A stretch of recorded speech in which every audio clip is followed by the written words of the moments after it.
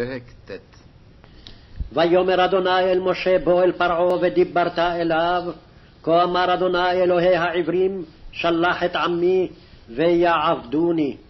כי אם מאן אתה לשלח ועודך מחזיק בם הנה יד אדוני הויה במקנך אשר בשדה בסוסים בחמורים בגמלים בבקר ובצאן דבר כבד מאוד והפלא אדוני בין מקנה ישראל ובין מקנה מצרים, ולא ימות מכל לבני ישראל דבר.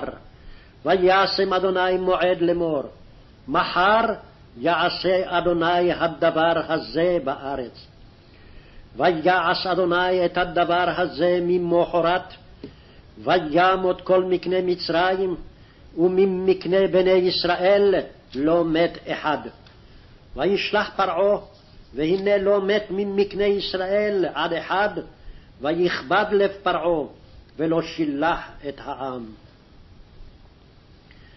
ויאמר אדוני אל משה ואל אהרון, קחו לכם מלוא חופניכם, פיח כבשן, וזרקו משה השמיימה לעיני פרעה, והיה לאבק על כל ארץ מצרים, והיה על האדם ועל הבהמה לשכין פורח, אבע בועות בכל ארץ מצרים.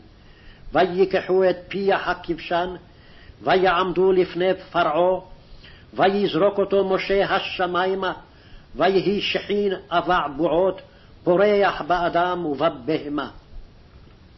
ולא יכלו החרטומים לעמוד לפני משה מפני השחין, כי היה השחין בחרטומים ובכל מצרים. ויחזק אדוני את לב פרעה, ולא שמע עליהם כאשר דיבר אדוני אל משה. ויאמר אדוני אל משה, השכם בבוקר, והתייצב לפני פרעה ואמרת אליו, כה אמר אדוני אלוהי העברים, שלח את עמי ויעבדוני. כי בפעם הזאת אני שולח את כל מגפותי אל לבך, ובעבדיך ובעמך, בעבור תדע, כי אין כמוני בכל הארץ. כי עתה שלחתי את ידי, ואך אותך ואת עמך בדבר, ותיכחד מן הארץ, ואולם בעבור זאת העמדתיך, בעבור הראותך את כוחי, ולמען ספר שמי בכל הארץ. עודך מסתולל בעמי, לבלתי שלחם, הנני ממטיר כעת מחר, ברד כבד מאוד, אשר לא היה כמוהו במצרים, למן היום היווסדה ועד עתה. ועתה שלח העז את מקנך ואת כל אשר לך בשדה, כל האדם והבהמה אשר יימצא בשדה, ולא יאסף הביתה, וירד עליהם הברד, ומתו. הירא דבר אדוני מעבדי פרעה, הניס את עבדיו ואת מקנהו אל הבתים. ואשר לא שם ליבו אל דבר אדוני, ויעזוב את עבדיו ואת מקנהו בשדה. ויאמר אדוני אל משה, נטה את ידך על השמים ויהי ברד בכל ארץ מצרים, על האדם ועל הבהמה ועל כל עשב השדה בארץ מצרים. ויית משה את מטהו על השמים, ואדוני נתן קולות וברד, ותהלך אש ארצה, וימטר אדוני ברד על ארץ מצרים. ויהי ברד ואש מתלקחת בתוך הברד, כבד מאוד אשר לא היה כמוהו בכל ארץ מצרים, מאז הייתה לגוי. ויח הברד בכל ארץ מצרים, את כל אשר בשדה מאדם ועד בהמה, ואת כל עשב השדה היכה הברד, ואת כל עץ השדה שיבר. רק בארץ גושן, אשר שם בני ישראל, לא היה ברד.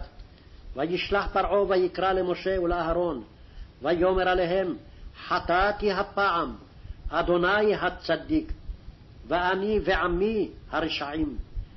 העתירו אל אדוני, ורב מהיות קולות אלוהים וברד, ואשלחה אתכם, ולא תוסיפון לעמוד. ויאמר אליו משה, כצאתי את העיר אפרוס את כפי אל אדוני, הקולות יחדלון, והברד לא יהיה עוד, למען תדע כי לאדוני הארץ. ואתה ועבדיך, ידעתי כי טרם תראון מפני אדוני אלוהים. והפשתה והשעורה נוקעת, כי השעורה אביב, והפשתה גבעול.